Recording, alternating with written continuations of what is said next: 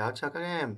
Hôm nay thầy trò chúng ta sẽ lại tiếp nối với đề số 01 cho đến đề số 03. Thầy trò chúng ta sẽ cùng nhau chinh phục đề số 04. Nhóm đề này là một nhóm đề thầy đánh giá là tương đối khó, nên thầy trò chúng ta cùng phải cố gắng và quyết tâm vượt qua chinh phục đề số 04 này cả lớp nhé. Vậy chúng ta cùng tìm hiểu về đề số à, 04 này. Cấu trúc của đề số 04 này các em tìm hiểu trong tài liệu, đã tìm hiểu trong tài liệu rồi, đúng không ạ? Và chúng ta nhận thấy rằng cấu trúc tương tự như đề 03. Thì như vậy để chinh phục được đề này thầy trò chúng ta sẽ cùng nhau bắt tay vào bài số 1. Chúng ta cùng ờ, nghe thầy giáo hướng dẫn bài số 1 này và cùng thầy trường hoàn thiện nhanh bài số 1 2 điểm. Bài số 1 2 điểm này thì các bạn chú ý thầy giáo tính giá trị của a lớn khi x bằng 9. Với khi x bằng 9 thì các bạn rất dễ dàng đấy. Ở đây đề bài đã cho điều kiện chưa? Đề bài ở đây cả lớp nắm thầy giáo này, đề bài đã cho được x lớn hơn hoặc bằng 0 và x đã khác mấy ạ? Khác 3. Đây là đề bài cho này cả lớp chú ý. Đấy, đề bài cho đã cho điều kiện này rồi. Mọi người phải hết sức chú ý thầy học phần này, được chưa? Rồi, chúng ta có được có được điều gì? Có được x bằng 9 đã thỏa mãn điều kiện. Cả lớp ơi, x bằng 9 đã thỏa mãn điều kiện rồi ạ. Đã thỏa mãn điều kiện xác định. Đó, Nói thầy giáo viết lại điều kiện của phần này. Mục đích để các bạn nhớ đến điều kiện để chúng ta viết vào cho đầy đủ, được chưa thay vào đâu? Thay vào đâu ạ? Thay vào biểu thức a lớn này thì được gì cả lớp? Chúng ta được được này, a lớn của thầy giáo sẽ bằng căn của 9 cộng với cả 4 đúng chưa ạ? Rồi tất cả trên căn của 9 trừ đi 1 vậy chúng ta có được là 3 cộng với cả 4 trên 3 trừ 1. Và ở đây chúng ta dễ dàng phán đoán được sẽ bằng 7 phần 2. Mà 7 phần 2 đã là phân số tối giản rồi, đúng không ạ? Như vậy, câu A này của chúng ta dừng lại. Và câu A dừng lại này thường là được 0,5 điểm. Được chưa nào? Rồi, bây giờ thầy trò chúng ta sẽ tiếp tục đi nhanh và chinh phục câu B. Câu B ở bài tập này cũng là một câu theo quan điểm của thầy khó nhìn hơn, khó nhìn hơn, khó phân tích hơn so với đề 2 và đề 3 vừa rồi. Được chưa ạ? Để làm bài tập này thì chúng ta phải quan sát vào x cộng 2 căn x trừ 3. x cộng 2 căn x trừ 3 ở đây với căn x cộng 3 chúng có quan hệ với nhau như thế nào? Và phải chăng phải chăng trong hai tích này, trong hai mẫu này đúng không ạ? Sẽ có được sẽ có được một mẫu là mẫu thức chung. Để quan sát được điều này thì thầy trò chúng ta sẽ cùng phân tích x cộng 2 căn x trừ 3 thành nhân tử. Nhìn vào đây chúng ta có những phương án dự đoán như sau này. Một, chúng ta dựa vào toán 8 để phân tích tách gộp. Dựa vào toán 9, dựa vào chương 4 toán 9 thì chúng ta nhầm được ở đây, bản chất đây chính là phương trình bậc 2 một ẩn. Được chưa? Hệ số của ta là 1, 2 và âm 3. Ta cộng lại với nhau A cộng B cộng C thì chúng ta nhận thấy là có một nghiệm được chưa? Bằng gì ạ? Bằng 1. Và có một nghiệm bằng trừ C trên A chính là bằng dương 3 khi chúng ta xét hai bạn này và đặc biệt hóa cho nó bằng 0. Như vậy, dựa vào sự phán đoán phân tích của thầy trường vừa rồi, chúng ta có thể phân tích mẫu này thành nhân tử. Được chưa? Rồi, các bạn cùng thầy giáo giải bài toán này ạ. Bài này hơi khó một chút thế nên thầy giáo đây. Khó so với những đề còn lại, được chưa? Rồi, chúng ta có được này. Có được ở đây đó chính là x cộng 2 căn x trừ 3 của thầy giáo sẽ bằng này. X, được chưa cộng với cả cả gì ạ? 3 căn x. Rồi lại trừ đi căn x, trừ đi 3 thế thì sẽ bằng, đặt căn x ra ngoài ạ. Trong ngoặc còn lại là căn x cộng 3 đúng chưa nào? Đó. Thế thì ở trong ngoặc này ta đặt dấu trừ ra ngoài trong ngoặc của chúng ta cũng còn căn x cộng 3 đến đây chúng ta dễ dàng phán đoán được đúng không ạ? Căn x cộng 3 của thầy giáo nhân với gì? Nhân với ở đây đó là căn x trừ 1. Rồi, qua đây thì cái việc các bạn nhìn vào đây và nhìn vào căn x cộng 3 của chúng ta này. Nhìn thấy mẫu thức chung chưa? Rồi, và chúng ta lưu ý thầy gặp những bài toán dạng này, dạng này thì thường mẫu thức chung sẽ nằm ở trong trong một trong hai mẫu riêng này. Được chưa? Rồi, bây giờ thầy giáo sẽ cùng đi các bạn đi rút gọn Trước khi rút gọn thì ta nên viết lại điều kiện một chút ạ. Đó chính là với với gì đây ạ? Với x của chúng ta lớn hơn hoặc bằng 0. x khác 3. Thế thì ta có được b lớn của thầy giáo sẽ bằng được chưa? từ là gì? từ là 3 căn x rồi cộng với 1. Mẫu lúc này chúng ta đã viết được dưới dạng là căn x cộng 3 rồi đúng không ạ? Rồi nhân với căn x trừ 1. À, lúc này chúng ta phải ngó đến tử xem. Được chưa? Ta phải ngó đến tử xem. Ngó đến tử xem có rút gọn được không? Tại vì biết đâu rút gọn được thì mẫu của chúng ta lại còn căn x cộng 3 không thì sao? Đúng không ạ? Vậy chúng ta phải tinh ý một chút. Nếu không rút gọn được thì chúng ta giữ nguyên. Để chúng ta có điều gì? Ta quy đồng mẫu ạ. Căn x cộng 3 nhân với cả căn x trừ 1. Đó, căn x trừ 1. Đây cả lớp ơi, chúng ta căn x trừ 1. Nhân với cả căn x trừ 1. ạ. Được chưa nào? Nhân với cả căn x trừ 1 ở chỗ này, chúng ta lưu tâm một chút về cách trình bày. Cố gắng đẹp nhất có thể, được chưa ạ? Rồi, đến đây thì chúng ta nhận ra được mẫu thức chung rồi. Thì được 3 căn x cộng 1. Nhớ đằng trước có dấu trừ thì là âm 2 nhân với các biểu thức ở trong các số ở trong ngoặc thì phải đổi dấu của nó, đúng không ạ? Trừ đi 2 căn x cộng với cả dương 2. Cẩn thận của chúng ta lại sai nhé. Rồi. Đây là căn x cộng 3 nhân với cả căn x trừ 1.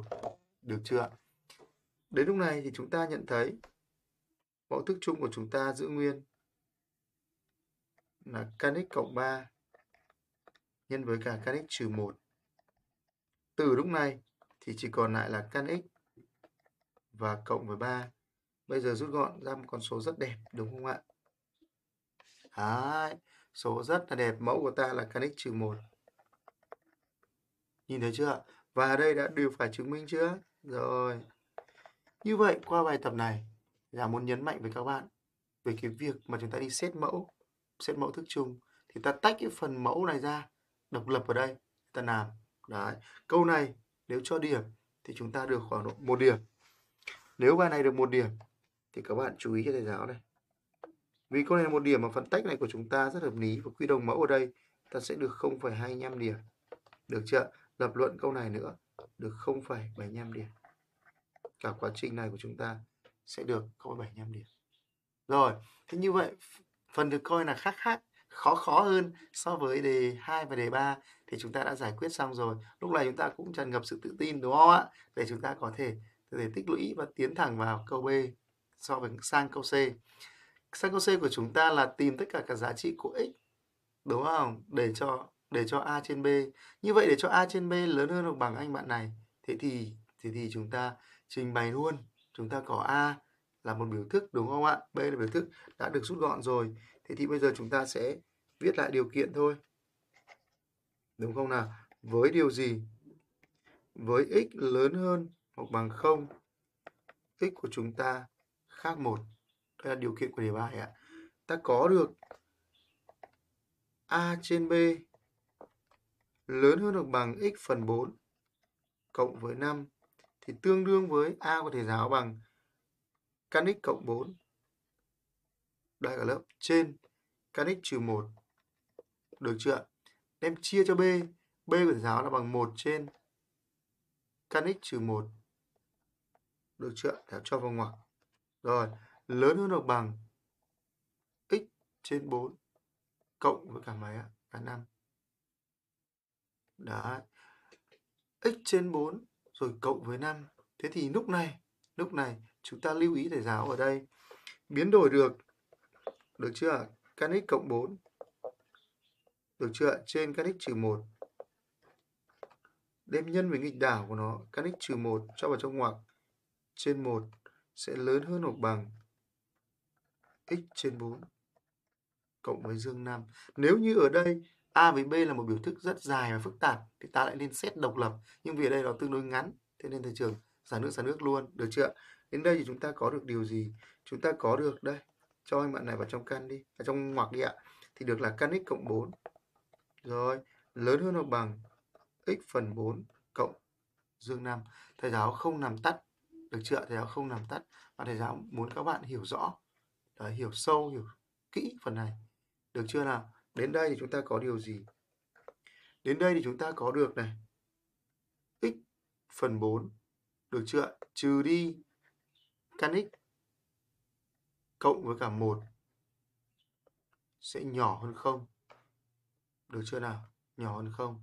Thế thì chúng ta tương đương với phương trình x trừ đi 4 căn x cộng với cả 4 nhỏ hơn không. Phương trình này thì lại khá là đẹp.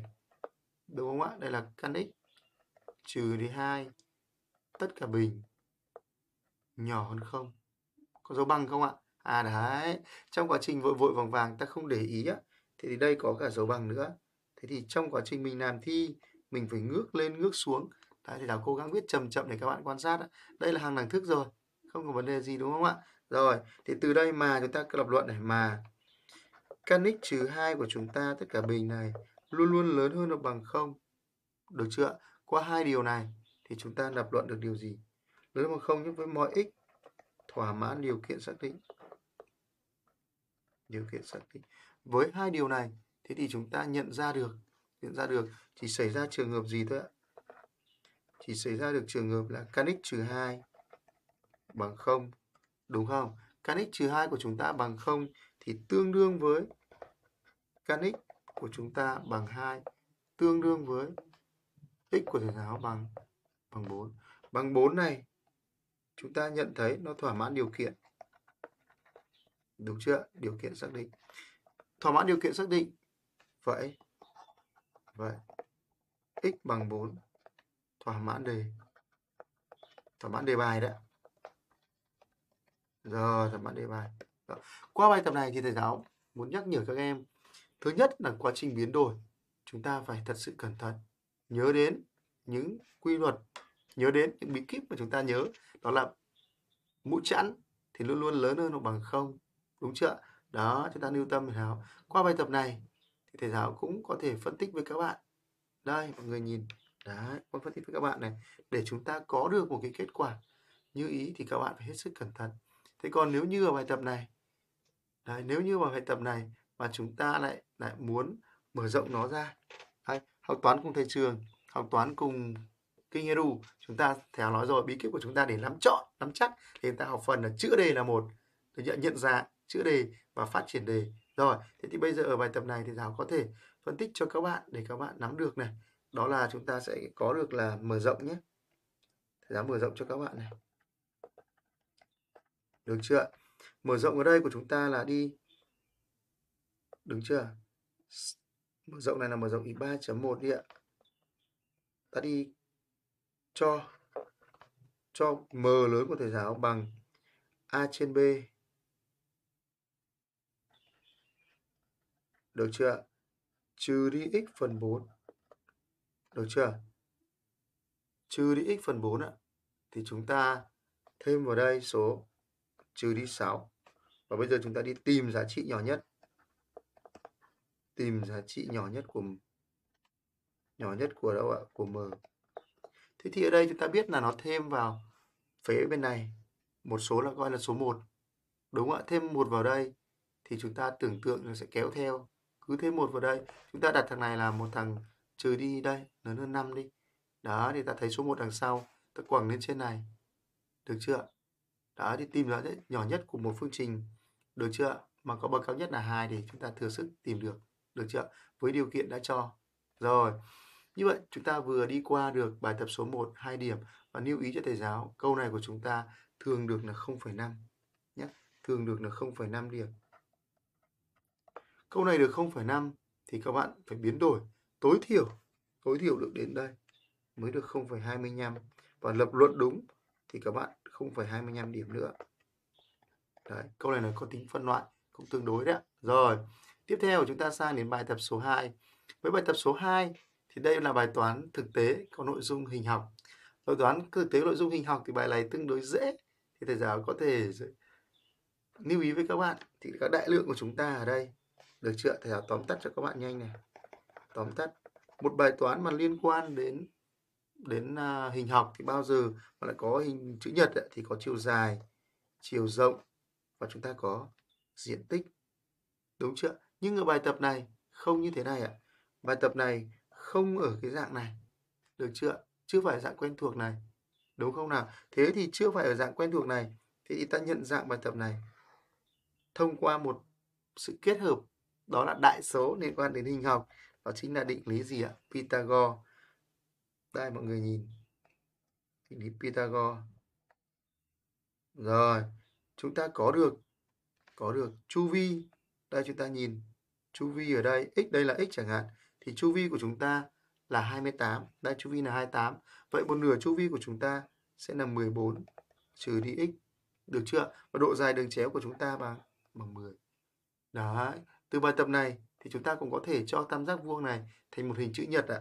Thì chúng ta cũng có được bài toán tương tự, được chưa? Rồi, bây giờ thầy giáo sẽ tóm tắt nhanh vậy thôi. Thì còn thầy giáo đi trình bày bài tập này. Bài tập này nhìn chung với câu trên khó thì câu này cái vẻ cũng khá thuận lợi đấy ạ. Rồi, thầy trò chúng ta sẽ đi giải bài tập này cả lớp nhé. Rồi. Giải bài tập này như sau này. Chúng ta gọi ạ. Gọi. Đây mọi người nhìn. Gọi chiều dài và chiều rộng của mảnh đất đó theo đơn vị mét. Đấy, chúng ta lưu ý cho giáo thế thì thầy giáo gọi ở đây, gọi chiều rộng đi, gọi độ dài chiều rộng. Gọi độ dài nhé. Độ dài của chiều rộng. Phải. Chiều dài của mảnh đất hình chữ nhật ạ. Hình nhật ở viết tắt ạ lần lượt. Được chưa?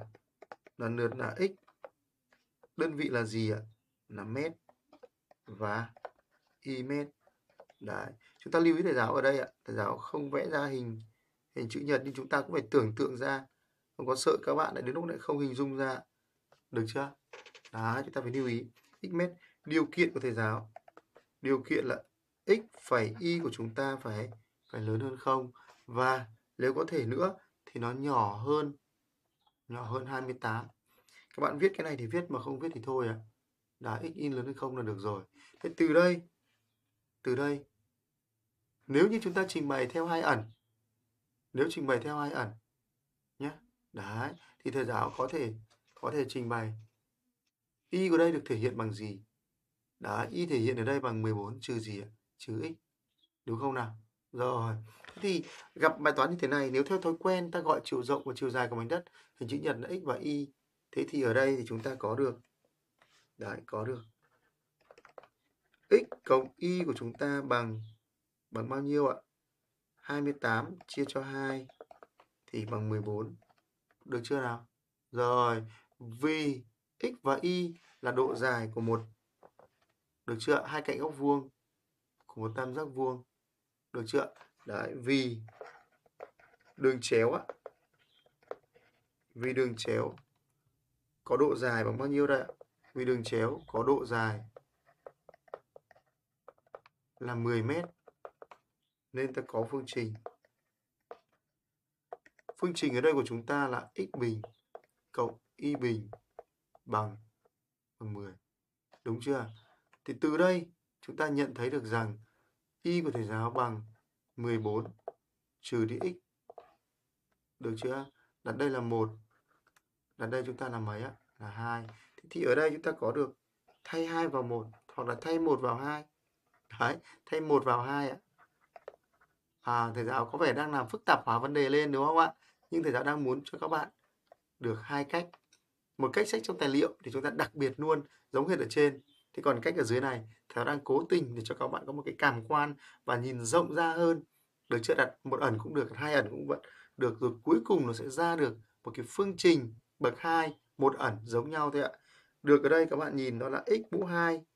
Đúng chưa? Cộng với mở ngoặc 14 trừ đi x bình. Được chưa? Tất cả bình bằng 10. Thế thì ở đây bài tập này chúng ta quan sát tiếp cho thầy giáo. Chúng ta biến đổi được thành x bình. Được chưa ạ?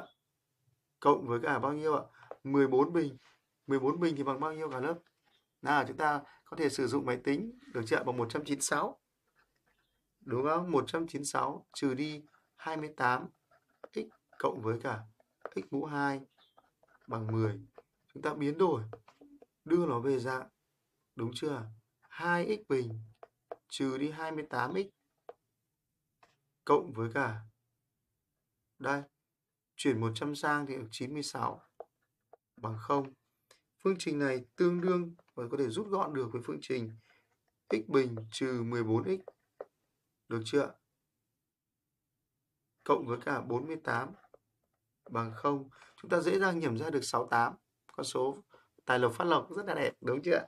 Vậy chúng ta có được x bình trừ đi 4x, xin lỗi, trừ đi 6x.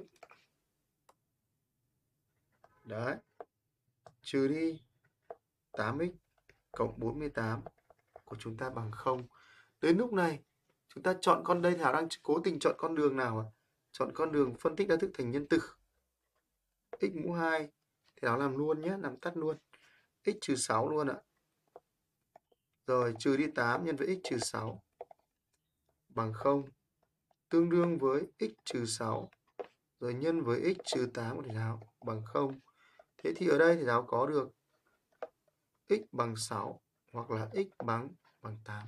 Bây giờ một trong hai giá trị này sẽ là giá trị mà chúng ta cần tìm. Nhưng nhớ cho thầy giáo ở đây, vì vì chiều rộng của chúng ta hay là chiều dài ạ. Đề bài ở đây ta gọi chiều dài là x ạ. Đúng chưa? Đây, phải chú ý thầy giáo cách này. Độ dài chiều rộng và độ dài chiều dài. Đấy thì chúng ta là x. Thế như vậy, chúng ta phải lưu tâm ở đây. Chiều rộng viết trước lần lượt là x. Thế vậy x phải nhỏ hơn y ạ. Đây, đến chỗ này chúng ta phải lưu tâm cho thầy giáo ạ. Thầy giáo nhấn mạnh ở đây. Chúng ta có thể bỏ cái phần nhỏ hơn 28 này. Chúng ta bỏ cái phần này. Nhưng chúng ta có thể đây lưu tâm cho thầy giáo. Đó là x nhỏ hơn y. Cái này sẽ giúp chúng ta xét xét điều kiện của nó. Rõ chưa? Rồi. Với chiều rộng của chúng ta bằng 6 ạ. Chiều rộng x bằng 6 thì suy ra được chiều dài y bằng 14 trừ 6 bằng bằng 8. Được chưa? Thỏa mãn chưa? Thỏa mãn x nhỏ hơn y. Thế vậy ở đây, với x bằng bằng 8 thì suy ra được y của thầy giáo bằng 14 trừ đi 8 bằng 6. Không thỏa mãn. Không thỏa mãn gì x nhỏ hơn y. Không thỏa mãn nhà x y vậy chúng ta kết luận được thế nào ạ? Vậy hình chữ nhật có chiều rộng là 6 mét và chiều dài của chúng ta là 8 mét. Nắm được đề bài này chưa? Và chú ý thầy giáo ở bài tập này, mọi người lưu ý thầy giáo ở đây. Ở đây thầy giáo gọi là hai ẩn. Nhưng qua cái việc so sánh bài này với tài liệu mà các em đang có, cũng như là cách lập luận này, chúng ta thấy cách giải này phức tạp hơn, được chưa? Phức tạp hơn cách mà chúng ta gọi một ẩn. Lý do là phải đặt điều kiện của x nhỏ hơn y. Sau đó, sau đó chúng ta lại cần cần phải lập luận rất là chặt chẽ ở đây. Được chưa nào? Đấy, mọi người lưu tâm cho thầy giáo ở phần này nhé. Đây, chúng ta có được ở đây đó là chú ý. Đây là cách một Cách thứ hai các bạn xem ở trong tài liệu. Xem ở trong tài liệu.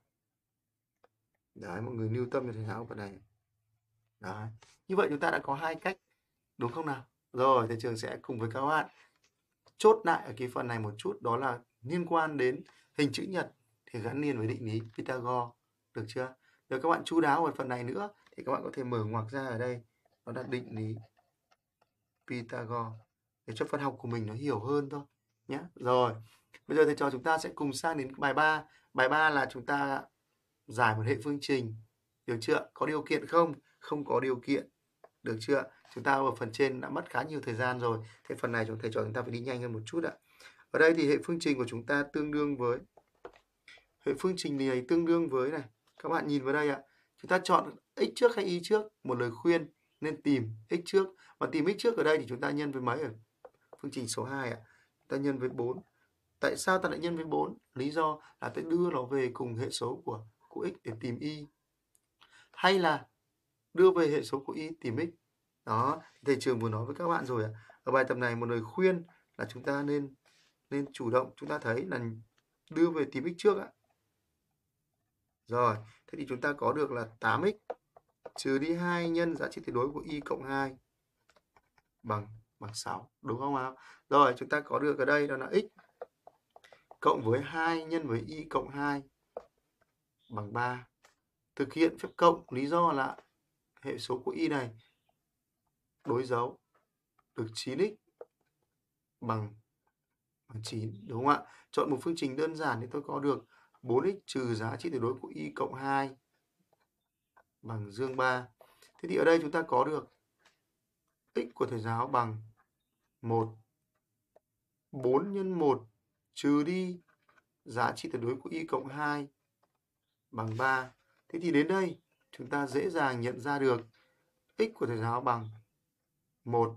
Đúng chưa? Và ở đây, giá trị tuyệt đối của y cộng với cả 2 thì bằng gì ạ? 4 trừ đi 3 bằng 1. Lúc này, chúng ta chú ý về cái đề trình bày. x bằng 1 ở đây có hai trường hợp.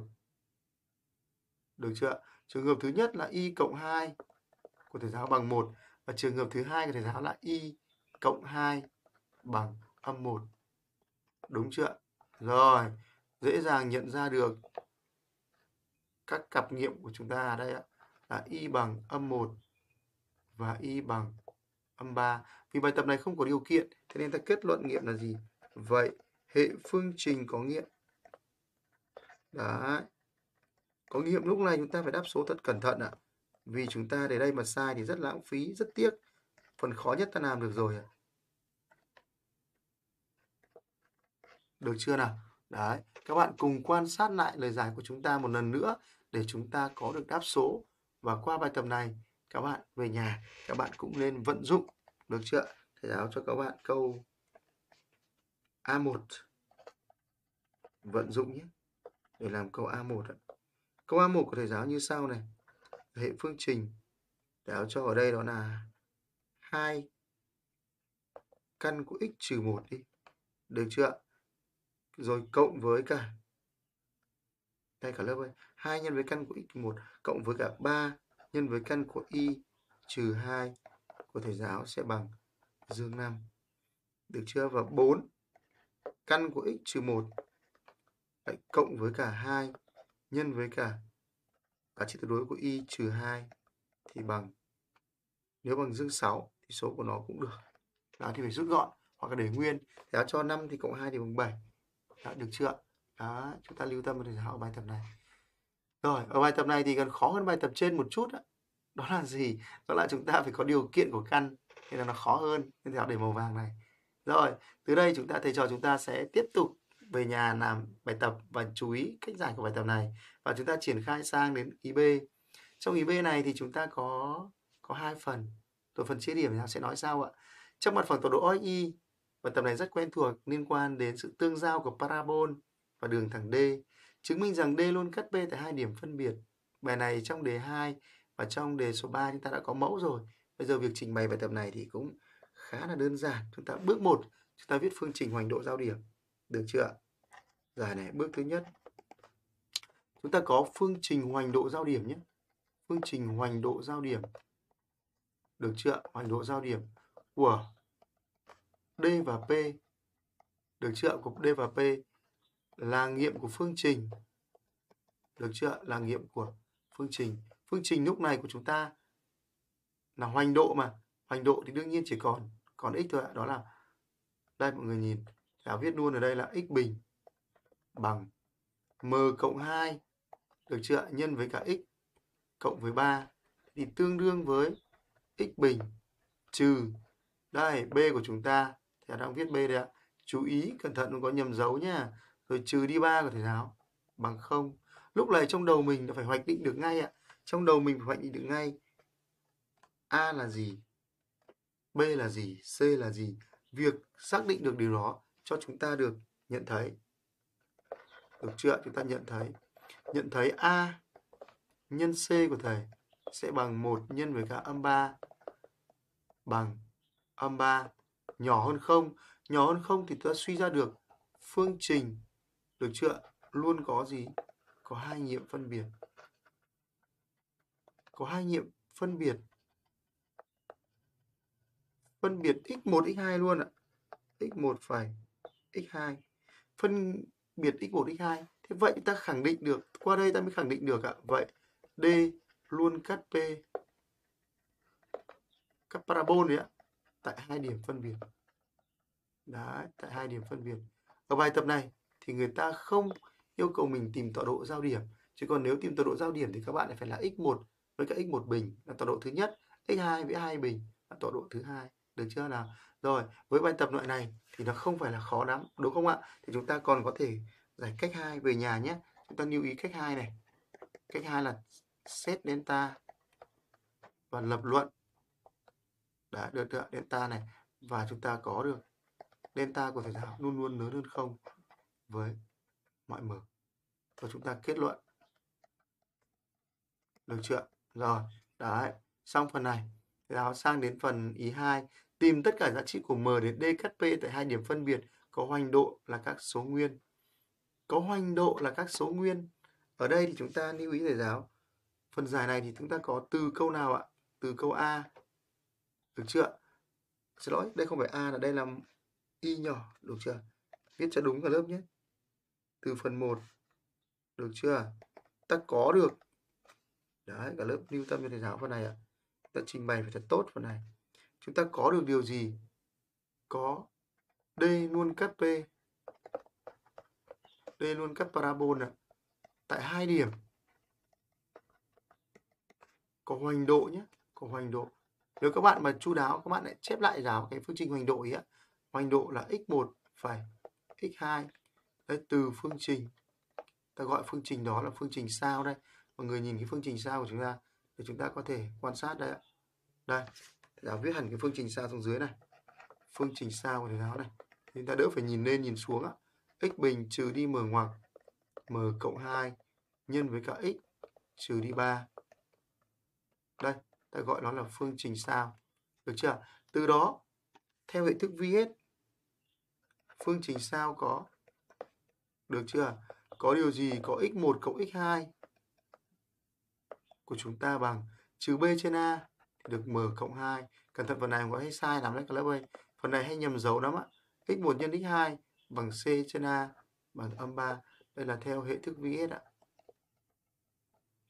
Giải thích một chút cho nó đẹp thôi hệ thức VS Đấy, hệ thức VS mọi người nhìn nhé. Đây là hệ thức VS rồi hệ thức VS ở đây chúng ta có được. Rồi viết ở đây có về nhà lại không dịch được chữ gì.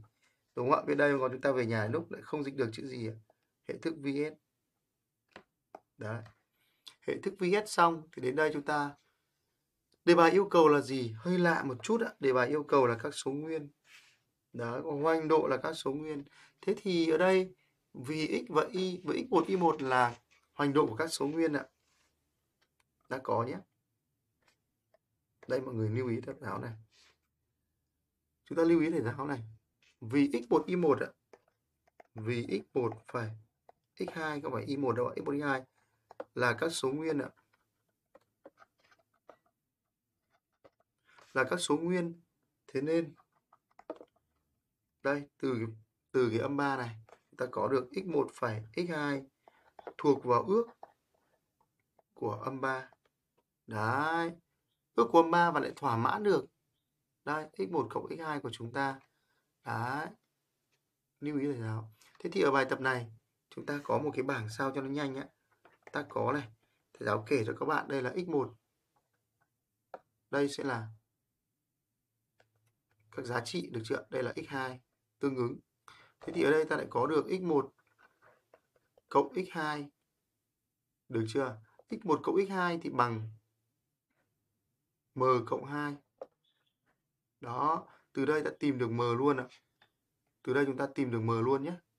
Đấy, tìm được m luôn. M có thể giáo bằng. Thế thì ở đây chúng ta kể một cái bảng. Đấy, chúng ta kể một cái bảng.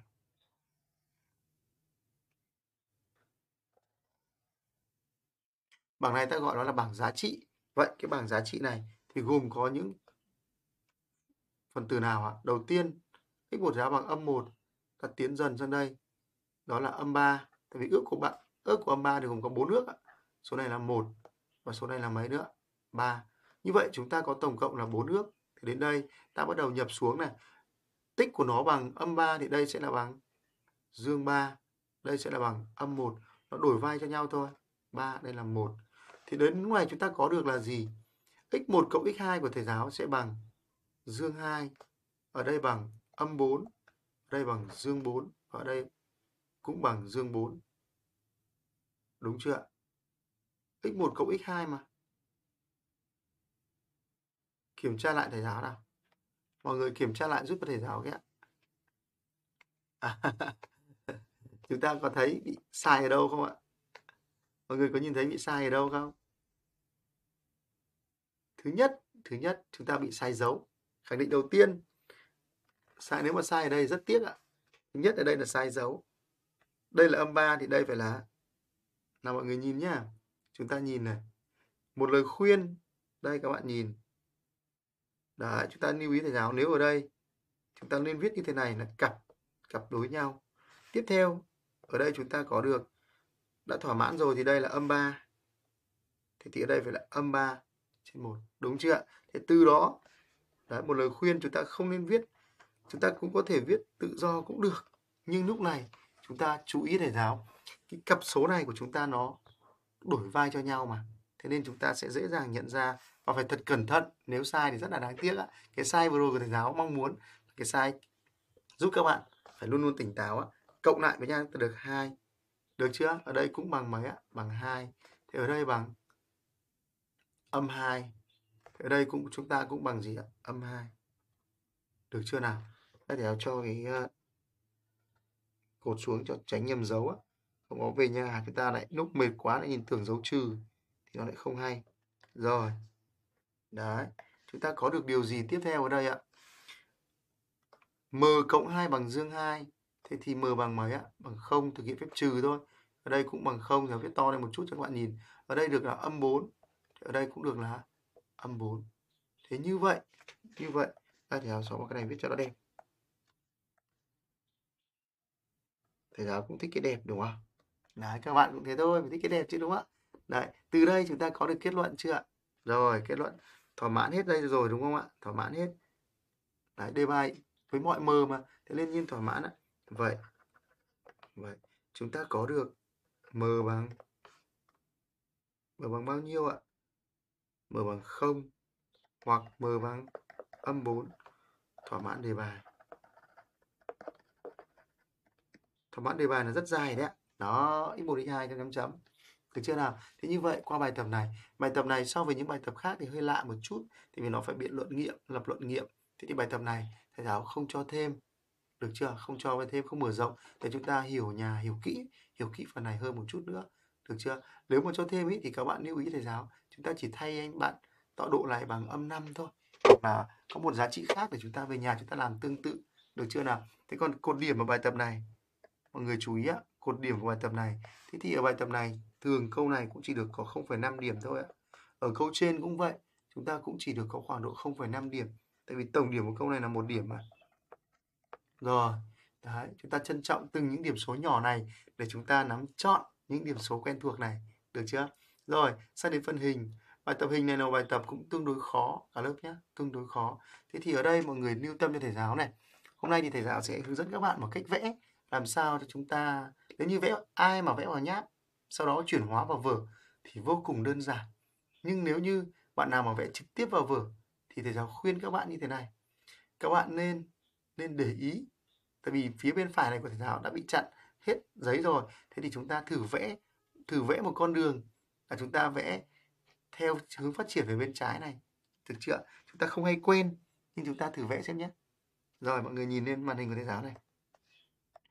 Đọc kỹ đề, nắm bắt được giả thiết kết luận, thì từ đó chúng ta có được được chưa có được một hình vẽ và một tư duy đúng. Tiếp theo, chúng ta có được, đây, cho đường tròn tâm O và dây cung AB không đi qua tâm.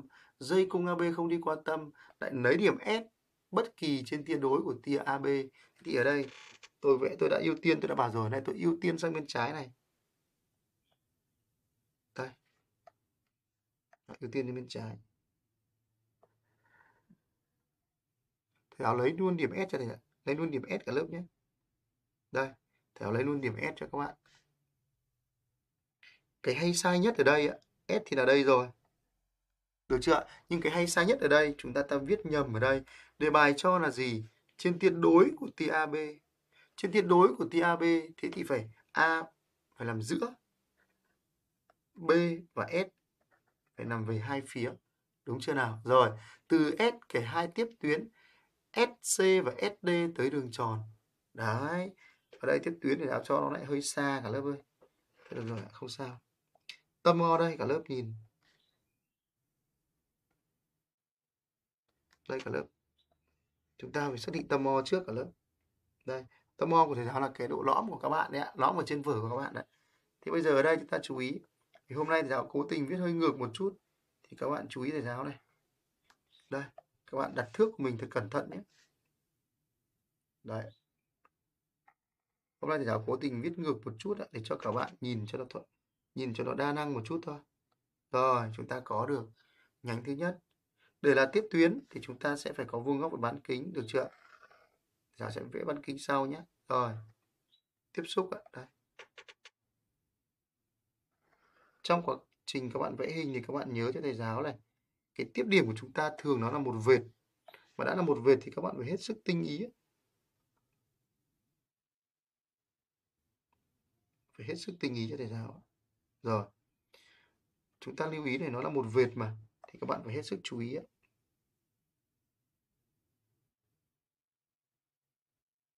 Được chưa nào? Đây. Vuông góc, đúng chưa rồi.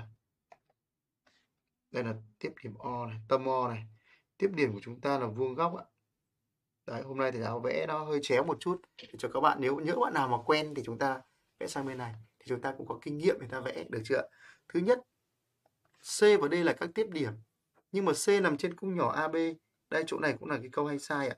C nằm trên cung nhỏ vẫn là cung bé này. Thì còn ở bên này của chúng ta là D. Được chưa nào? D. Thế thì qua đây chúng ta có được một điểm H là trung điểm của đoạn thẳng AB. Vẽ trung điểm H này thì đã bảo các bạn rồi, có hai con đường. Con đường thứ nhất là chúng ta dựa vào gì ạ? Dựa vào mối quan hệ đường kính và dây cung. Đúng không nào? Hoặc là chúng ta đi đo. Chúng ta có hai con đường chúng ta tư duy. Nhưng ở đây, dù con là con đường nào thì chúng ta phải lưu ý nếu ta ký hiệu vuông góc ở đây ạ đúng nhá ta giả thiết mở rộng để ta đoán được ngay trung điểm nhưng ở đây ta chưa ký hiệu nên người ta xác định trung điểm bằng cách này rồi bây giờ đến câu A câu A này là chứng minh gì ạ C H đây cả lớp ơi C này H này được chưa D này S này O này cùng thuộc một đường tròn có đường kính là SO đây có đường một đường tròn đường kính là SO Thế ở bài tập này, một lời khuyên tôi khuyên các bạn là chúng ta không nên trình bày theo hướng không nên trình bày theo hướng nội tiếp ạ. Được chưa? Tại vì sao? Tại vì rõ ràng người ta yêu cầu chỉ rõ là đường kính SO rồi. Thế nên chúng ta lại nên trở lại theo cái mẫu một mà trong các buổi livestream cũng như là phần tổng ngôn của trường đã dặn các bạn đấy ạ. Đó là gì? Chúng ta quan sát này. Chúng ta quan sát được bài tập này, chúng ta đã nhận được cái góc vuông chưa ạ? Rồi, chỉ có mỗi anh hát này chưa nhận được góc vuông nhưng nhận được anh hát góc vuông bằng hai con đường tư duy. Một là con đường đường kính đi qua trung điểm của một dây là con đường thứ nhất. Con đường thứ hai thì tất cả các anh bạn này thuộc đường tròn đường kính OS. Thế mà góc D vuông thế thì đương nhiên góc H này cũng phải vuông và tại sao nó vuông thì lại tìm đến giả thiết. Đúng không ạ? Rồi, ở đây chúng ta có được điều này. Lập luận trước nha. Xét đường tròn tâm O xét đường tròn tâm O ta có được có được OH được chưa vuông góc với cả AB tại H đấy đây là quan hệ đường kính vuông góc với dây cung ạ quan hệ nhé, giữa đường kính và dây cung. Đường kính và dây cung. Được chưa nào? Rồi từ đây ta có được. Lại có tiếp theo ạ. Có chỉ ra tất cả các góc vuông ạ. Có góc S DO bằng với cả S CO được chưa? Cùng bằng 90 độ. Được chưa nào? Cùng bằng 90 độ đây là tính chất của các tiếp tuyến, đúng chưa tính chất của các tiếp tuyến SC phải SD rồi, thì qua đây chúng ta nhận thấy được điều gì? Qua đây ta có được các góc này. SCO bằng SHO được chưa nếu các bạn cẩn thận ở đây ta suy ra được góc SH vuông góc với cả OS OH vuông góc với OH đấy. Bằng SD O. O có thể sao bằng 90 độ. Tất cả các bạn này bằng 90 độ rồi, thì từ đây theo định lý là gì? Tất cả những điểm, đúng không ạ? Rồi, chúng ta thích thì chúng ta gọi. Trình bày dài nhé. Gọi. Là cách một của chúng ta này, ta gọi một điểm y là trung điểm có s người ta có được ID bằng IH bằng IC bằng IO bằng IS bằng 1 phần 2 OS.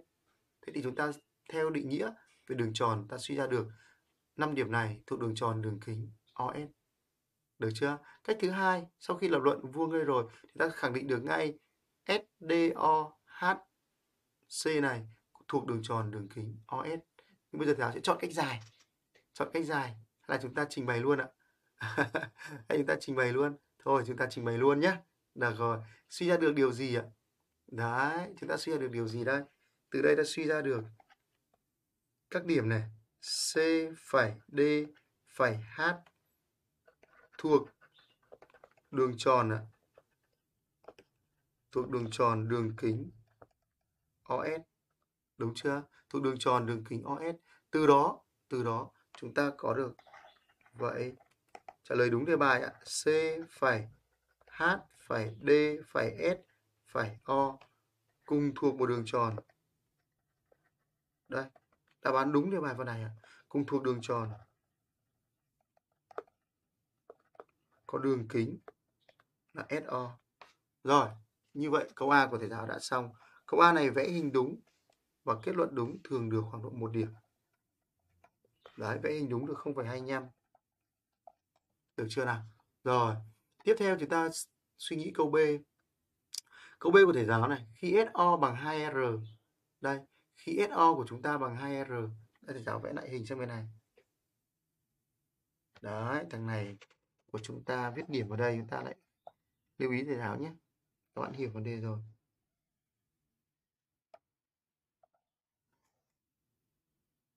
Rồi là chuyển nó sang bên này. Để cho các bạn nhìn thấy cho nó thuận lợi.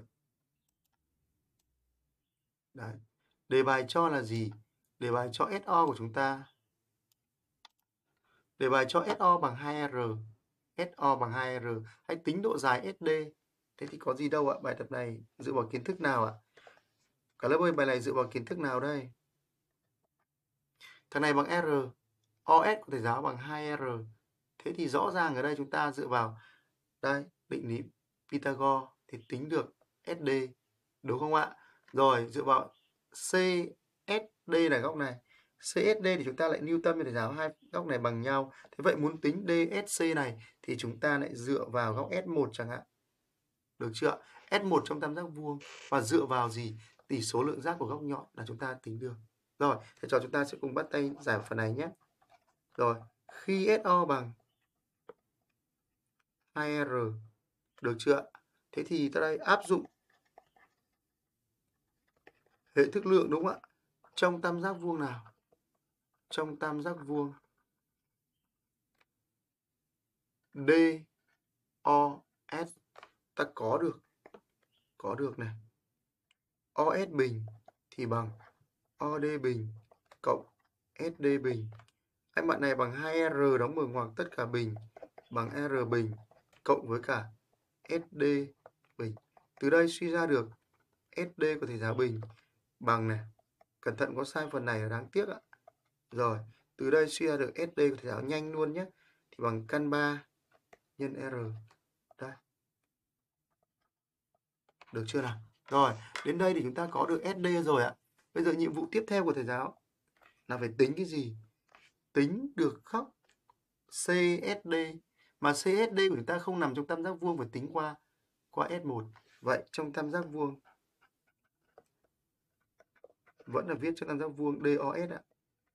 Có có điều gì? Bây giờ các bạn nhìn, chúng ta có thể sự chọn lựa, chúng ta có được đối với cả Huyền. Nên chọn như vậy, không nên chọn SD thì vì nhớ sai thì sao? Nhớ câu trên chúng ta mắc lỗi thì sao đúng không ạ? Vội vội vàng vàng cầu thả hoặc mất tự tin hoặc vội quá là sai thì chúng ta rất dễ mắc đúng không ạ? Vậy ở đây chúng ta sẽ có được đây, sin này đối chia huyền ạ, có sin của góc OSD. Thầy giáo biết là các bạn ít sai và không thể sai được, nhưng nhưng nhớ thì chúng ta phải cẩn thận bằng OD trên OS. OD của thầy giáo bằng R. Đề bài cho mà, thì bằng 2R. Thì ở đây bằng 1 phần 2. Hàm sin là hàm tăng dần nhỏ nhất 1 phần 2, lớn nhất là căn 3 trên 2. Chạy từ 30 đến 60, không cần dùng máy tính. Á. Chúng ta suy ra được góc OSD bằng 30 độ. Mà mà OSD thì lại bằng OSC bằng góc nào trên 2 ạ? Bằng góc CSD CSD tất cả trên 2 đây là theo tính chất tính chất tia kẻ từ phân giác đấy ạ. Thì từ đây ta suy ra được góc CSD của thầy giáo sẽ bằng 2 nhân với cả 30 độ bằng 60 độ. Thì như vậy chúng ta đã có được được góc CSD thỏa mãn điều kiện đề bài rồi. Đúng chưa nào? Thế như vậy bài tập này cũng thường sẽ được khoảng độ một điểm một điểm bài tập này. Một điểm bài tập này thì mỗi ý này sẽ được 0,5 điểm. Được rồi ạ rồi, bây giờ thầy trò chúng ta sẽ cùng nhau cùng nhau để chúng ta làm IC. Làm IC của thầy giáo phần này thì giáo cắt cắt hình vẽ này xuống. Các lớp ơi, chúng ta trong bài thi của chúng ta chỉ có một hình thôi. Thế nên một hình này thì giáo khuyên các bạn là các bạn nên vẽ sang một tờ giấy. Mặt đầu tiên của tờ giấy thứ hai. Thế thì chúng ta sẽ nhìn nó dễ hơn ạ. Được chưa nào? Đấy, chúng ta lưu ý để nào. Thế còn ở đây đi đến đâu thì giáo vẽ hình đến đấy ạ. Chứ còn thì cả bài thi các bạn chỉ có một hình vẽ thôi nhé. Đường thẳng đi qua A và song song với đường thẳng SC. Đi qua A và song song với SC này. Được chưa ạ Cắt đoạn thẳng. Cắt đoạn thẳng CD. Vậy chúng ta phải nối CD ạ. Đúng chưa nào? Đây các lớp ơi. Thầy học trở lại với à, màu mực trắng trước nhé. Đấy. Chú ý vẽ thật nhanh ạ song song với cả cái gì ạ? À? Song song với cả SC. Đây mọi người chú ý song song với cả SC.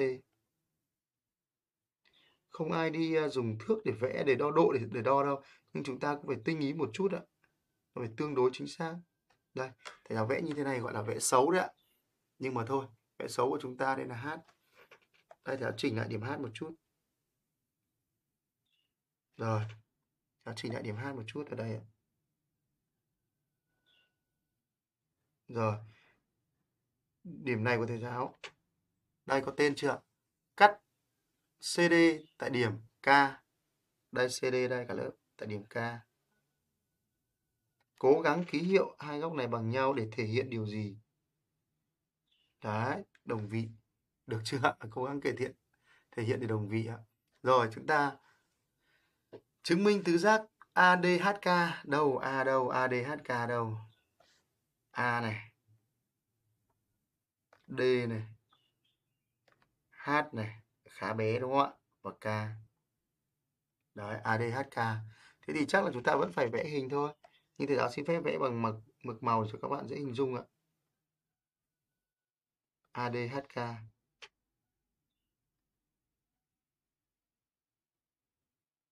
được chưa Đấy, các bạn nhìn thấy một màu theo chưa ạ? Ở uh, giấy nháp thì các bạn vẽ thế nào cũng được, nhưng ở trong hình các bạn chỉ dùng một màu mực thôi, còn một màu chì thì vẽ đường tròn ạ. Thế thì ở đây chúng ta thử quan sát cho thầy giáo xem ạ. Dựa vào kiến thức, dựa vào các dấu hiệu, được chưa? Ba phương pháp chính và năm sáu dấu hiệu thì, thì các bạn chúng ta suy nghĩ. Thế thì ở đây chúng ta có được ADHK, giả sử ADHK nội tiếp đi. Chúng ta cứ giả sử ADHK nội tiếp thì chúng ta sẽ suy ra được điều gì? Đó, giả sử ADHK nội tiếp thì ta suy ra được điều gì ở cái bài tập này? Thì mọi người lưu tâm cho thầy giáo, lưu ý cho thầy giáo ở phần này. Chúng ta có được điều gì? Đây giả sử nó nội tiếp á, thì chúng ta đã có dữ kiện ban đầu rồi, là 5 điểm này cùng nằm trên một đường tròn. Đúng chưa nào? Thì đây, chúng ta lưu ý thầy giáo này. Đây ADHK và bám sát vào giả thiết đề bài cho ạ. Bám thật sát vào giả thiết đề bài cho. Đó là ta vừa ký hiệu được anh bạn này bằng anh bạn này. Được chưa? Hai bạn này bằng nhau. Thế anh bạn này chấn cung HK. Đây bạn này chấn cung HK. Được chưa? Thế thì anh bạn này đây, lưu ý đây, chấn cung HC thu tầm mắt lại nào. Phóng tầm mắt ra này nhìn này, phóng tầm mắt ra đây ạ. Thu tầm mắt lại lên trên này. Thế thì chúng ta nhìn thấy nhìn thấy góc này. Đây cả lớp nhìn thấy góc này có thể ạ. Đấy, chúng ta nhìn thấy góc đậm đậm đấy ạ. Thế thì như vậy, nhìn thấy cái góc đậm đậm đó thì chúng ta thấy được. Đây, nhìn thấy góc đậm đậm đấy ạ. Được chưa nào? Rồi, thế thì chúng ta nhận thấy được ở đây phóng tầm mắt ra C, CH. Được chưa? Tại vì tứ giác 5 điểm này nội tiếp đường tròn mà. Thu tầm mắt lại lên đỉnh D. Đúng không nào? Đỉnh D của chúng ta ở đây thì lại xét đến tứ giác. Đây mọi người xét đến tứ giác này. ADHK thì góc này bằng góc này và chúng ở vị trí hai đỉnh kề nhau. Đúng chưa ạ? Thì suy ra được tứ giác này nội tiếp. Rồi, ở bài tập này cũng tương đối khó nhưng việc qua việc phân tích khá rõ như thế là vừa rồi. Thế nên chúng ta sẽ chia thành các bước. Bước thứ nhất chúng ta lập luận được là đây là thẻ đặt là góc D1. Cần chứng minh D1 bằng cái anh bạn S2 này. Được chưa nào? Rồi, bây giờ chúng ta có này. Trong cái đường tròn trong đường tròn nhé, đường kính đường kính OS. Đó, thì ta có được có được góc đây mọi người nhìn nhìn thấy kỹ là góc S2 ạ. À. S2 bây giờ chúng ta còn ở câu cuối nữa, thế nên thì ta không ký hiệu S2 vội mà ta có góc HSC HSC sẽ bằng HDC. Đấy, đây là hai góc nội tiếp cùng chắn cung. Cùng chắn cung HC ạ. Đấy, chúng ta đã có cung ở đây rồi mà lại viết cung ở đây thì rất là thừa. Thế nên không không nên viết thế này. Đấy. Thảo cố tình viết như vậy để bạn lưu lại cho các bạn nhé, phải tránh. Rồi, tiếp tục chúng ta lại có được mà nhé. Mà mà gì ạ? AK thì lại song song với cả SC theo giả thiết ạ. Thế thì suy ra được góc HAK sẽ bằng với cả góc góc nào ạ? Ở vị trí so lên trong hay là vị trí đồng vị thì phải chú ý nhìn vào hình ạ. Rồi, H đây mọi người ơi, H SC HSC ở vị trí đồng vị. Đồng là cùng cùng vị trí đấy. Được chưa? Từ hai điều này ta suy ra được suy ra được góc gì ạ? HDC sẽ bằng H HDC thì bằng gì ạ? HAK, đây lại thiếu hiệu góc này. Đấy, HAK nó hơi bé cả lớp nhìn. HAK. Rồi, được chưa? Mà trong tứ giác mà trong tứ giác nhé. Trong tứ giác ADHK ADHK chúng là hai đỉnh kề nhau ạ. chúng là hai đỉnh kề nhau. Thế thì suy ra được, suy ra được tứ giác nào nội tiếp ạ? Suy ra được tứ giác AD HK nội tiếp đường tròn. Đấy, đúng theo một dấu hiệu và đúng theo mẫu dấu thứ ba trong tổng ôn, được chưa ạ? Rồi, chúng ta giải phần này, ý thứ nhất của chúng ta xong rồi ạ ý này của chúng ta thường được 0,5 điểm nhớ chọn gói 0,5 điểm phần này nắm chắc được chưa đừng để rơi nhé rồi tiếp theo chúng ta có ý là gì nữa ý tiếp theo là đường thẳng BK đi qua trung điểm của đường thẳng SC đường thẳng BK BK kia đi qua trung điểm của SC Wow, hình vẽ của chúng ta khá là rắc rối đấy, khá là bé đấy đúng không? Bây giờ thì phóng to ra cho các bạn nhìn nhé. Đây, mọi người nhìn. Nhìn cho nó dễ. Rồi,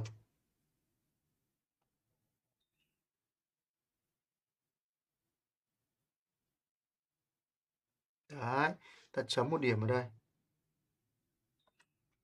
Rồi mọi người quan sát ạ.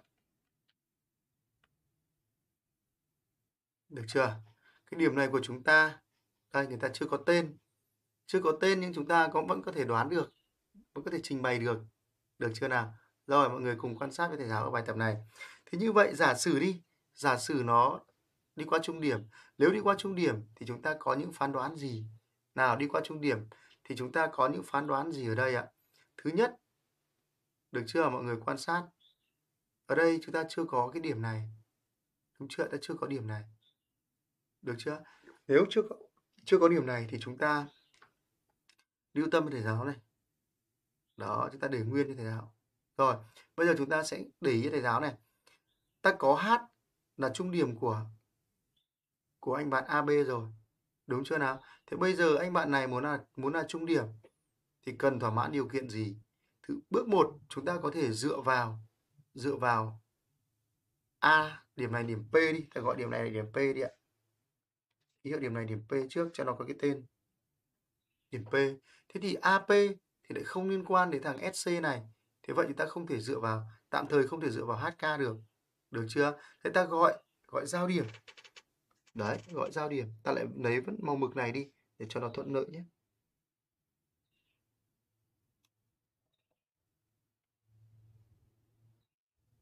Được chưa? Tôi đặt điểm này là điểm Y đi. Rồi, điểm này điểm Y. Nếu điểm này là điểm Y thì các bạn quan tâm cho thầy giáo một chút ạ. Ở đây chúng ta quan tâm đến điều gì? Tại sao ta lại nói đến điểm P này? Tại vì điểm P này là điểm đề bài cần chứng minh. Tại sao lại phải xác định điểm Y? Lý do, lý do nếu như chúng ta đi chứng minh được, nếu chúng ta đi chứng minh được AI này, được chưa ạ? AI này có liên quan đến thằng SC này. Có không ạ? Có. Nhưng liên quan ở đây là gì? Chúng ta phải chứng minh được, được chưa ạ? K là trung điểm của AI.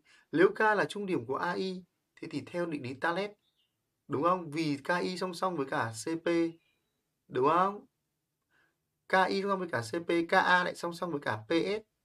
Thế theo định lý Talet thì chúng ta đoán được ngay ạ, đoán được ngay CP sẽ bằng với cả PS. Lý do là KA bằng KI. Đấy, lý do xuất hiện điểm Y là như vậy. Thế còn để trình bày câu này thì cả lớp lưu tâm cho thầy giáo ở phần này. Phần này thầy giáo sẽ trình bày cho các bạn nhưng phần này nó cũng hơi dài. Thế nên chúng ta phải hết sức chú ý nhé. Phần này hơi khó một chút ạ, thầy giáo uh, ghi hẳn ở đây. Ta gọi Y là giao điểm.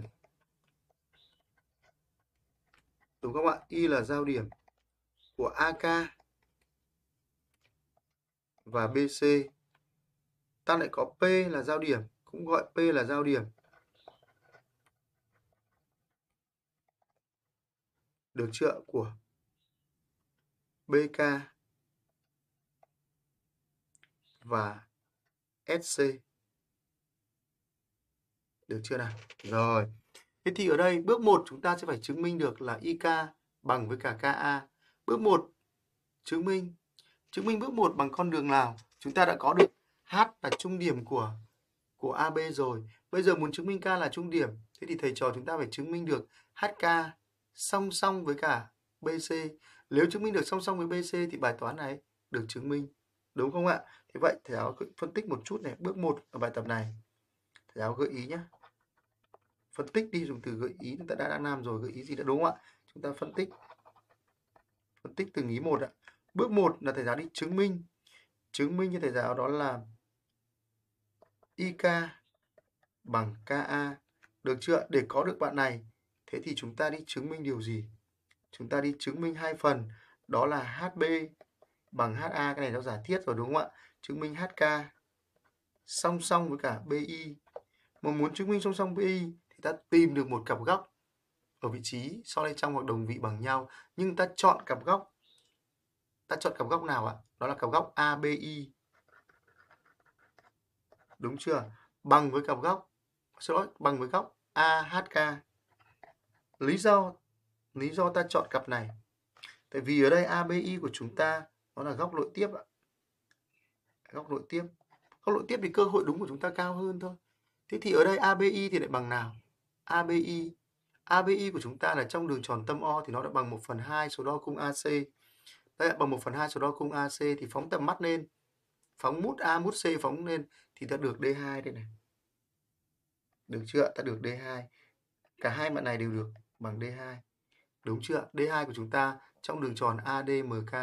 Đúng không? Thế vậy chúng ta chọn luôn đường tròn mà ADMK nội tiếp ạ. Rồi. Chúng ta có này. Trong đường tròn, được chưa? Mà tứ giác này, mà ADMK nội tiếp chúng ta lấy luôn tứ giác này cho nó dễ nhớ ở trên ạ. Chứng minh trên. Được chưa? Từ đây ta suy ra được nào mọi người nhìn nhá. Ta suy ra được góc luôn ạ. Suy ra được góc ADK bằng AHK.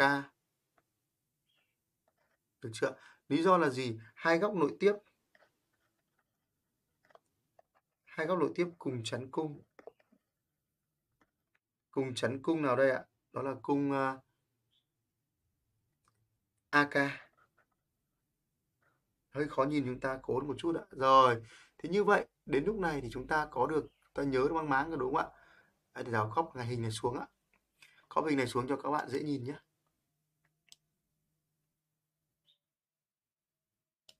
Rồi. Crop xuống cho các bạn dễ nhìn. Đây. Kéo để nó sát đi một chút ạ. Rồi, đến chỗ này các bạn quan sát. Trong đường tròn tâm O, đến lúc này người ta có trong đường tròn tâm O. Ta đang đi chứng minh cái anh bạn còn lại là anh bạn D2 đây này. Trong đường tròn tâm O tôi có góc ADC ADC sẽ bằng góc ABC ABC. Được chưa? Đây là hai góc nội tiếp cùng chắn một cung ạ. Cùng chắn cung nào? Cùng chắn cung cùng chắn cung AC. Được chưa nào? Cùng chắn cung AC. rất đẹp một chút cả lớp ơi. Rồi. Cùng chắn cung AC. Thế thì từ đây ta có điều gì? Đây ta đặt là một, đặt ta đặt là hai. Từ một và hai ta suy ra được góc AHK sẽ bằng góc ABC. Nhưng ABC ở đây thì tôi chọn là ABI thôi. Đây là ABI cũng được ạ. Đây cả lớp ơi, C với I đây, giống nhau. Đây mọi người chú ý. C với I đây, các bạn chú ý phần này. Rồi, thì từ đây chúng ta có được mà chúng ở vị trí nào ạ? Mà chúng ở vị trí đồng vị mà chúng ở vị trí đồng vị. Thì vậy ta suy ra được HK song song với cả BI. Được chưa? Bước 1 của chúng ta xong. Bây giờ chúng ta lập luận, lập luận để có được có được được gì ạ? Ta được IK trên CP đúng không? Rồi, thế thì ở đây chúng ta dễ dàng nhận ra được theo đề bài có luôn không phải phân tích nữa nhá. Chúng ta có được điều gì? Có được này KA song song với cả, đây ạ KA song song với cả BSC ạ. Đúng chưa? À chúng ta ở đây chúng ta có được HK nhưng ta chưa chứng minh được KA với cả KI đây mọi người nhìn, cái bước chứng minh này của thầy giáo là cần chứng minh IK bằng KA cơ mà. Thế thì như vậy chúng ta phải suy ra được nữa. Suy ra được là đây, chung song chung mà. Đấy, chung điểm này. HP bằng HA chúng ta thôi, chúng ta thêm một dòng nữa nhé. Đây, mà này.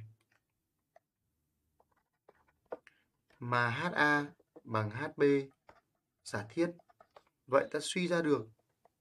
Suy ra được KA bằng KI theo định lý Talet đó ta hiểu hơn là sau khi KA bằng KI rồi, mà KA song song với cả KA song song với cả SP SC cũng được ạ. Từ đây ta suy ra được KA Được chưa? Bằng SP bằng bao nhiêu ạ? SP trên 2. Thế thì đừng ta lập tỷ số đi. Lập tỷ số cho nó đẹp. Sẽ được KA này. Trên SP thì bằng thì bằng gì ạ? BK trên BP theo hệ quả định lý tan nhé. Hệ quả định lý tan. Viết nhanh một chút ạ.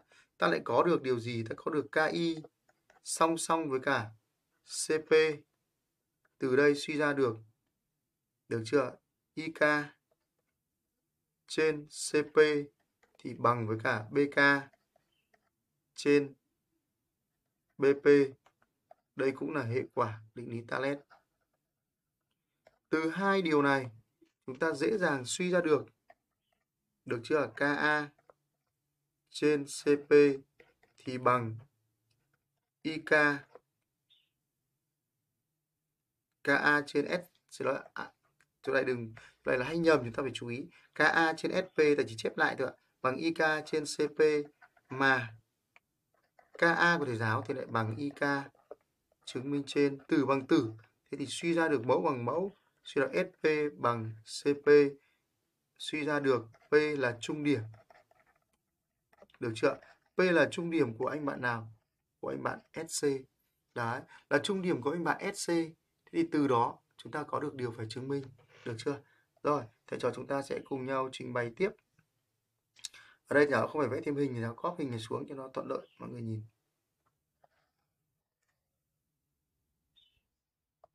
Để chúng ta cùng nhau quan sát câu D. Câu D của thầy giáo, mọi người nhìn câu D này. Gọi E là trung điểm.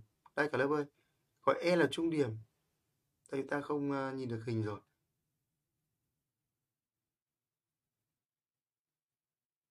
Gọi E là trung điểm. Thôi được gọi bài này. Bài này các bạn nghiên cứu tài liệu và thầy giáo sẽ cùng các bạn chiếm lĩnh bài tập này thông qua phương pháp nghiên cứu tài liệu. Được chưa? Thông qua phương pháp học là nghiên cứu tài liệu. Rồi, mọi người nhìn. Rồi. Chúng ta phóng to nhất có thể. Được chưa?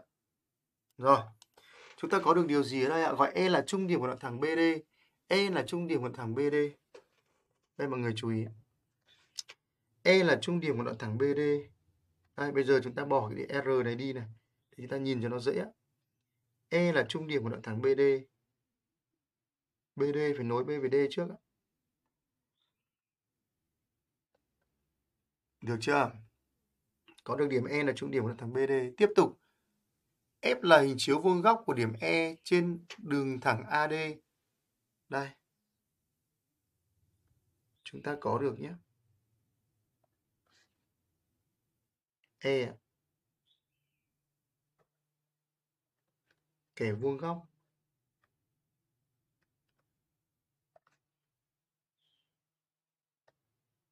xuống gì ạ? Kẻ vuông góc xuống AD.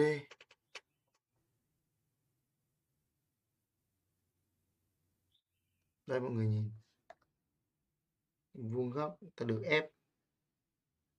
Đấy, vuông góc ta được ép ạ. Thế thì ở bài tập này, mọi người chú ý, đây là một bài tập khá là nâng cao, thế nên thầy giáo sẽ cùng với các bạn để hướng dẫn các bạn cách học tài liệu, cách đọc tài liệu, hướng dẫn các bạn nhé. Thì ở đây chúng ta quan sát cho thầy giáo này. Đây, thầy giáo có thể phóng tầm, phóng to ra cho các bạn xem. Đấy, phóng to ra các bạn xem đây. Thế thì bây giờ đề bài của chúng ta yêu cầu gì? Đề bài của thầy giáo yêu cầu Đây, yêu cầu của chúng ta cần chứng minh F này khi S xì thay đổi trên AB thế thì F này chuyển động trên một đường tròn đường tròn này cố định. Đấy, đường tròn này cố định. Thế như vậy đây phần lời giải thầy hướng dẫn cho các bạn đây. Thế thì chúng ta có được điều gì? Ta có được gọi M là trung điểm của OH ạ cái này nó rất là bé các bạn phải chú ý nhé. Gọi M là trung điểm của OH, đây M đây. M là trung điểm của OH. R là trung điểm của OA.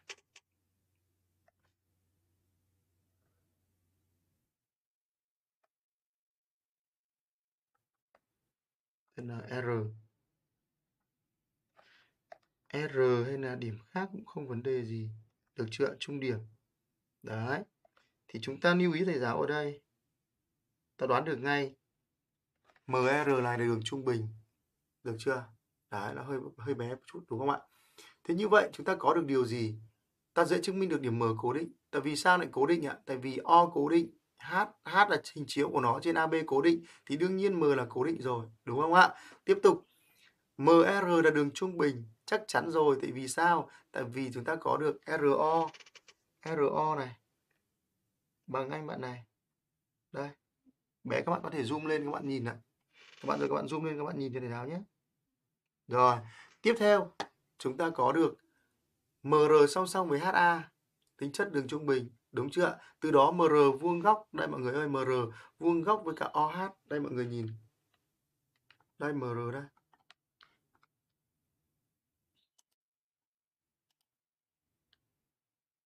Đây, thầy phóng to cho các bạn nhìn này. MR vuông góc đấy MR vuông góc ạ Đấy, các bạn nhìn thấy vuông góc chưa ạ? Rồi, thế thì ở đây chúng ta có được điều gì nữa? Tiếp theo ạ, mọi người nhìn. Suy ra được tam giác OMR là tam giác vuông. Vậy OMR của chúng ta, đây là ký hiệu góc, mọi người chú ý để giáo này. Đây ạ, OMR. Đây, tam giác MR là tam giác, tam giác vuông. Đây, đây là tam giác nhé. Tam giác MR ờ, là tam giác vuông là tam giác vuông. Được chưa? Tiếp tục góc MR của thầy giáo sẽ bằng 1 phần 2 góc AOB. Thầy giáo cố tình giáo không đánh góc để tạo điểm nhấn cho các bạn nhớ đấy ạ. AOB của thầy giáo thì lại là góc ở tâm đường tròn. Thế như vậy ADB của thầy giáo ở đây, ADB đây là góc nội tiếp. Vậy chúng ta có được góc ADB. Thế mà EDF mọi người nhìn, EDF bản chất chính là ADB. Đấy. Lưu ý cho thầy giáo. Xong rồi. Từ đây chúng ta dễ dàng nhận ra được hai tam giác DEF đồng dạng với tam giác OMR. Lý do của chúng ta là vuông với cả góc cặp góc ở trên này, đúng chưa? Rồi, ta lại có được OF là vị trí 12, OM12, DE là 13, OR là 13. Thế tại sao DB? Tại vì DE gấp đôi lên ạ, DE bằng với cả EB. Đây, hai thằng này chúng ta chú ý. Cho mực màu đen chúng ta kệ thôi. Rồi, chúng ta anh bạn này bằng anh bạn này thì vì chúng ta nhân 2 lên ạ là do nhé 2DE trên 2 lần OR được chưa thì chính là bằng anh bạn này. Đó mọi người lưu tâm vào thầy giáo một chút ạ. Lưu tâm vào thầy giáo một chút ở phần này. Đây. Đấy lưu tâm vào thầy giáo một chút ở phần này thế thì ở đây chúng ta có được tại vì D là trung E là trung điểm của DB mà. R là trung điểm của OA thì gấp đôi lên là có điều đó thế như vậy qua phần này thì chúng ta lại có được cặp tam giác DFB. DFB đây mọi người nhìn.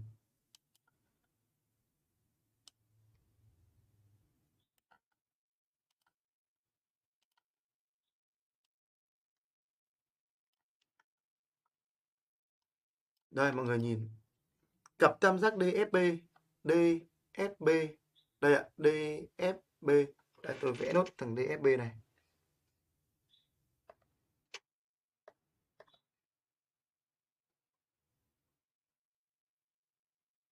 Đấy, chúng ta tưởng tượng thì cũng ra được. Đây là câu chinh phục 8 cộng và 9 cộng nên các bạn phải cố gắng ạ. Ta có DFB đồng dạng với tam giác OMA. OMA. Đây, OMA đây. Lý do tại sao? Tại vì chúng ta có được tỷ số này.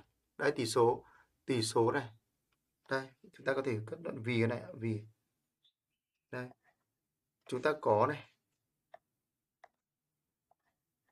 Có DF trên OM thì bằng OB trên OA và góc nào nữa à, mọi người thì mọi người được quan sát ạ đây và ta có được đây mọi người O đây mọi người nhìn nhé DF trên OM bằng DB xin lỗi.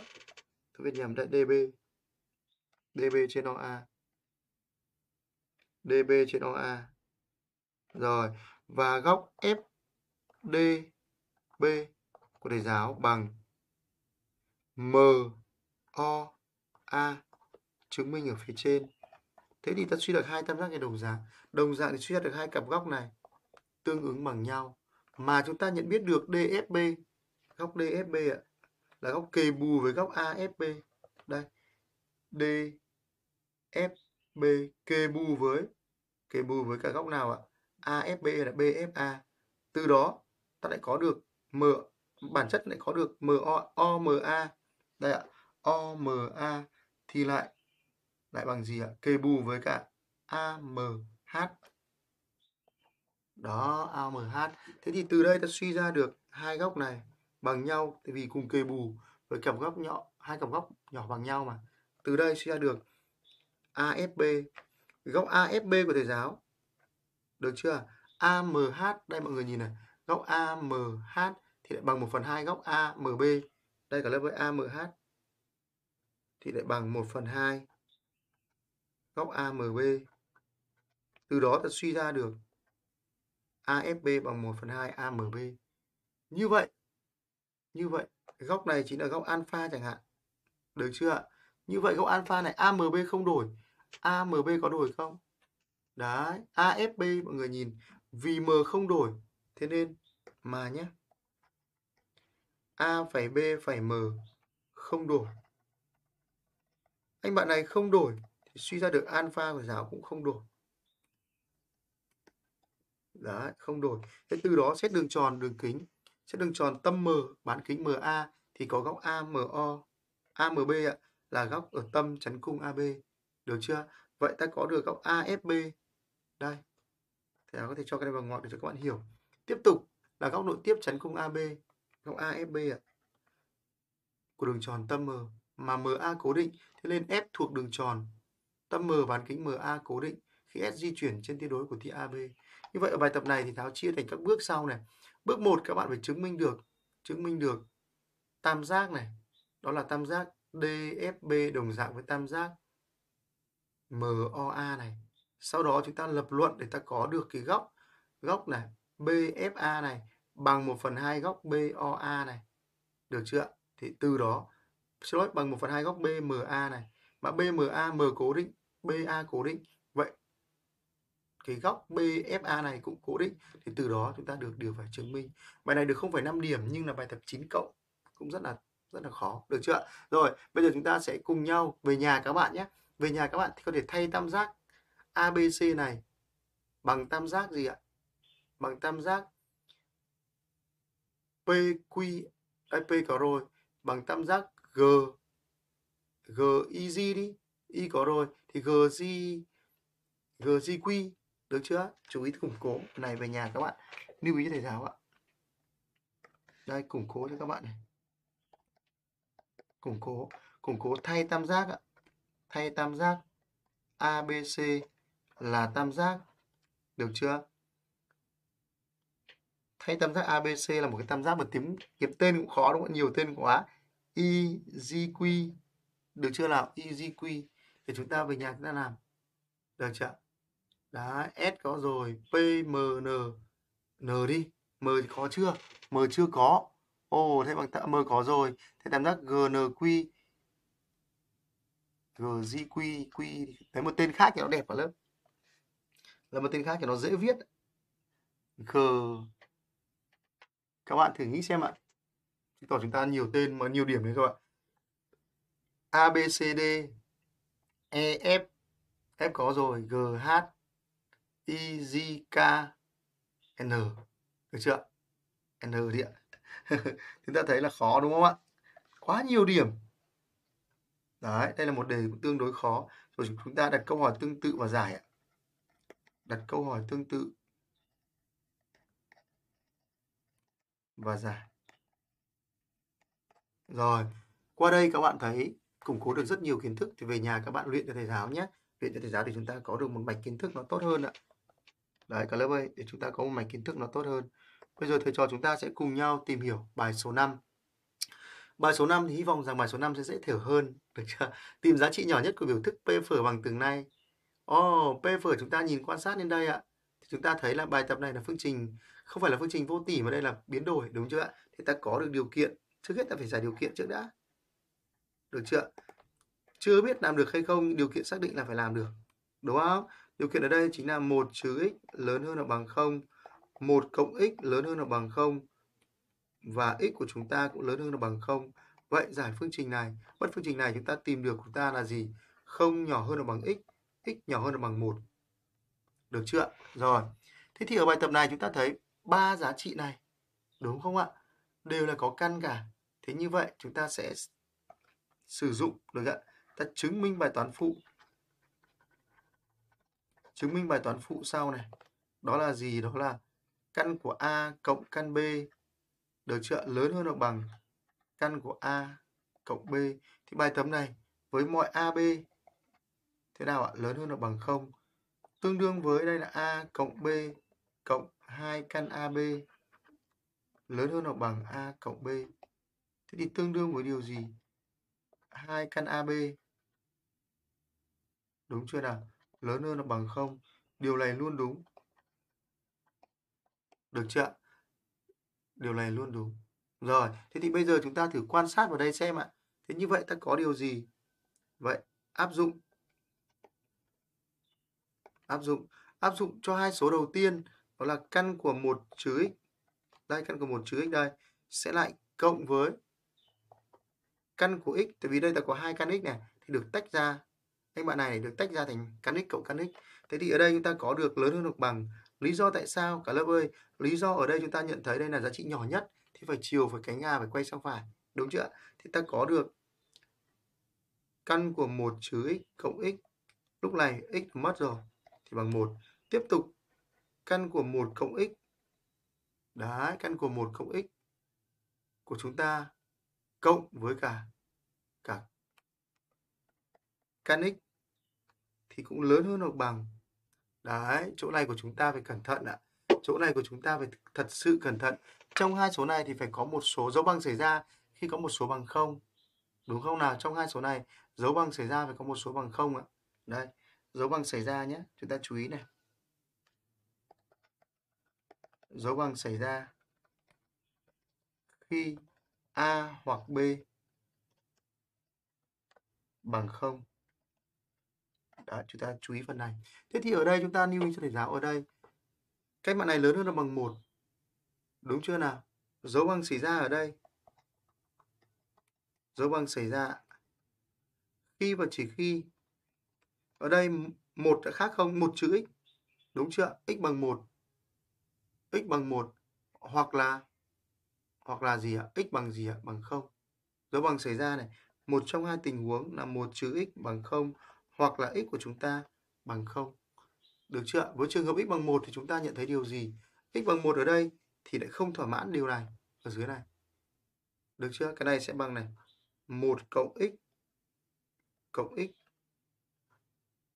Đấy, chúng ta lưu ý thầy giáo ở đây ạ. Thế thì ở đây nếu như chúng ta có 1 cộng x được chưa? x bằng 1. 1 ở đây thì bằng căn 2 cộng 1. Đúng không ạ? Đấy, căn 2 cộng 1. Thế thì chúng ta chúng ta có điều gì? Căn 2 cộng 1. Đây nhá chúng ta xét trường hợp ạ. Đây, chúng ta trường hợp. Trường hợp ở đâu? x bằng 1 đây mọi người nhìn. Đây. Tương đương với x bằng 1 hoặc là x bằng 0. Nếu x bằng 1 thì ở đây chúng ta có điều gì? Chúng ta đây có 1 là 2. 1 là căn 2 cộng 1. Đúng không ạ? Lớn hơn đây lớn hơn hoặc bằng này. 1 1 1 là căn 3. Căn 3 ở đây 1 cộng căn 3 lớn hơn hoặc bằng 1 cộng căn 3. Đúng chưa? Nếu cái tai ở đây là x bằng 0. Tại vì x chạy từ 0 đến 1 thế nên có cách thứ nhất là đã chọn x bằng 0 là đã là thuận lợi ở phần trên này rồi. Đúng chưa? Nhưng ở đây chúng ta lại lưu ý thầy giáo một chút ở đây ạ. Thế thì ở đây ta chọn x bằng 0 thì chúng ta thấy là 1 cộng 0 cộng 0 bằng 1. Đúng chưa? 1 vậy 1 cộng 1 bằng mấy ạ? 2. 2 so với căn 3 cộng 1 thì thằng nào nhỏ hơn ạ? Rõ ràng chúng ta nhận thấy ở đây, chúng ta nhận thấy nó bằng x bằng 0 sẽ thuận lợi và thỏa mãn hơn. Đúng chưa đậu Đúng chưa? Rồi, thế thì khi đó khi đó khi x bằng 0 thì suy ra được căn của 1 cộng với cả 0 cộng với căn của 0 lớn hơn hoặc bằng bằng mấy đây? Bằng 1. Thì khi x bằng 1 thì suy ra được căn của 1 cộng 1 cộng với cả đây là x ạ. Thế cho nó dễ ạ. x. Đây ở lớp ta chọn x đi. Đây, ta chọn là x thì cho nó thuận lợi cả lớp với x.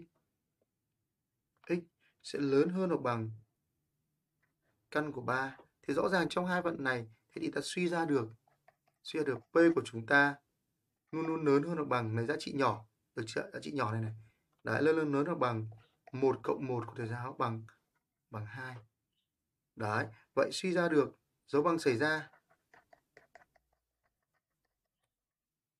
khi x bằng 0 được chưa? Vậy min của P thì bằng 2 khi khi nào? Khi x bằng 0 thỏa mãn đề bài. Đấy, cả hai điều này đều thỏa mãn đề bài. Được chưa? Thế như vậy, qua bài tập này chúng ta chú ý thầy giáo có những cái bất đẳng thức phụ, bài toán phụ rất quan trọng và chúng ta đi áp dụng. Được chưa? Đi áp dụng. Đấy, thì về nhà, các bạn ôn luyện lại và chúng ta luyện thật kỹ cái dạng bài tập này và chúng ta quan sát lại một lần nữa cấu trúc đề của bài tập này để về nhà, các bạn sẽ hình dung ra cách làm cũng như khiển, triển khai cho thầy giáo những cái phân tích và chúng ta vận dụng để chúng ta làm những bài tập tương tự. Và qua bài, qua bốn đề đầu tiên, các bạn thấy không ạ? Bốn đề này thi vào cấp 3 rất là khó. Thế mong muốn các bạn hãy bình tĩnh để chinh phục 7 cộng, chinh phục 8 cộng và từ đó chúng ta chinh phục được điểm 9 cộng được chưa? Rồi, hẹn gặp lại. Chúc các bạn học tốt, hẹn gặp lại vào các đề sau.